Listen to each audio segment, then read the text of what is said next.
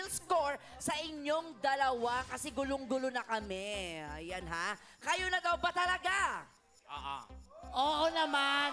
Hindi pa ba halata? Oo. Hindi Sila? pa ba halatang At least sa sila? inyo mang- manggagaling mismo.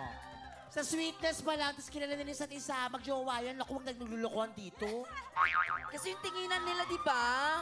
Buboy and Jelay, it's time. Ikaw na sumagot. Okay, sige. Malagkit. Ano? Buboy, malapit na ako. Ah, hindi. Ah, sinabi ko na sa kanya to eh, dati. Na birthday ko. Birthday ko nung...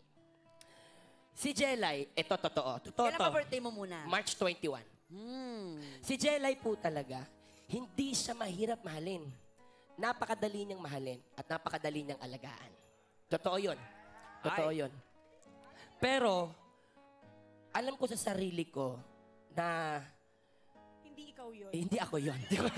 Jenny. hindi. Alam ko Sorry sa, na! Jenny. Sorry! Pakialamera. alam ko sa sarili ko na parang, ah, ang hirap sabihin.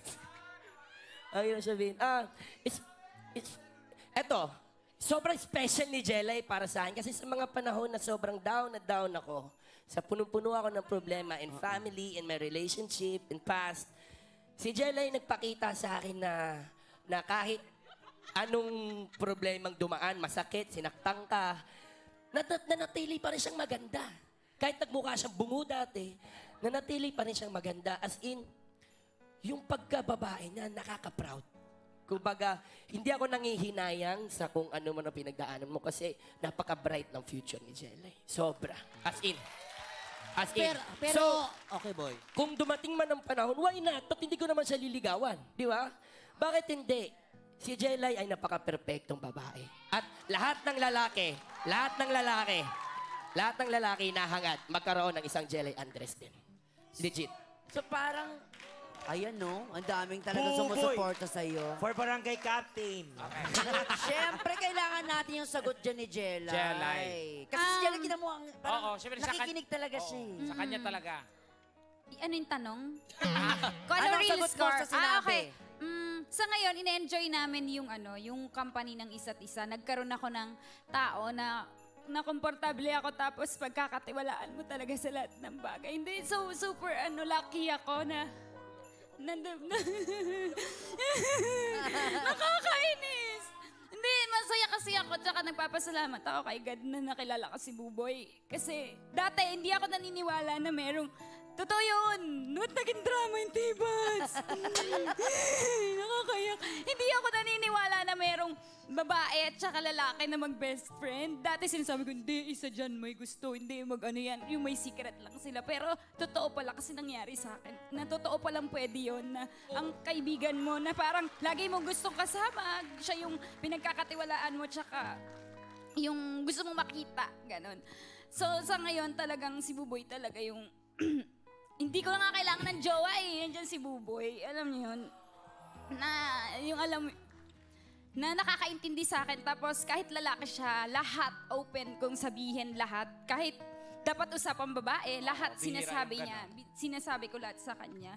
Tsaka nag-usap na kami. Kapag 50 years old kami, tapos wala pa kami parehas asawa, kami na lang yung ano, magiging magkasama. Buboy, natibats ka.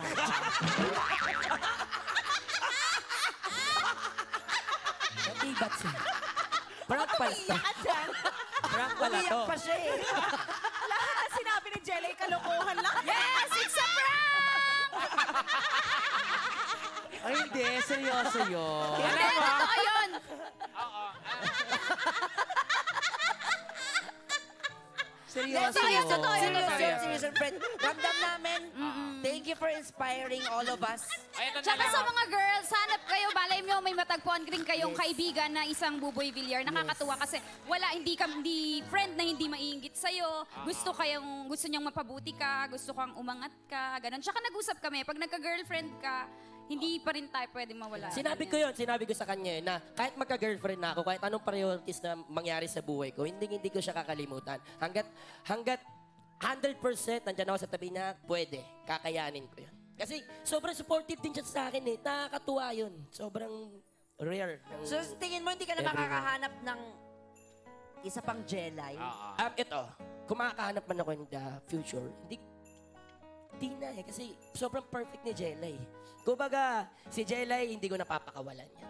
Kumbaga, Umaasa. hindi ko na, Jelay. hindi, hindi, Hindi niya mapakawalan sa Pero, buhay. di ba? Ang sarap kaya marinig yung hindi ko na siya pakakawalan, Oo. di ba? Oo, kasi Jelay, at saka, it's a prank! Saka buboy, tama yan. Ano to? Ah, At saka, Jenay naman sumagot ka sa, Jenay, hindi kita papakawalan. Sumagot ka sa mo, aso ba ako?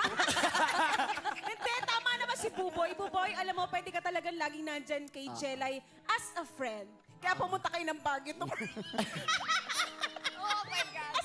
Maraming maraming salamat syempre. Buboy! Oy! Angela, maraming maraming salamat Thank you, na- boy. And- Tawa, tawa, tawa, tawa, tawa, tawa, tawa. Anytime, anyone, anyhow. Halika manood at sumigaw. Anywhere in the world, everybody in the house. Click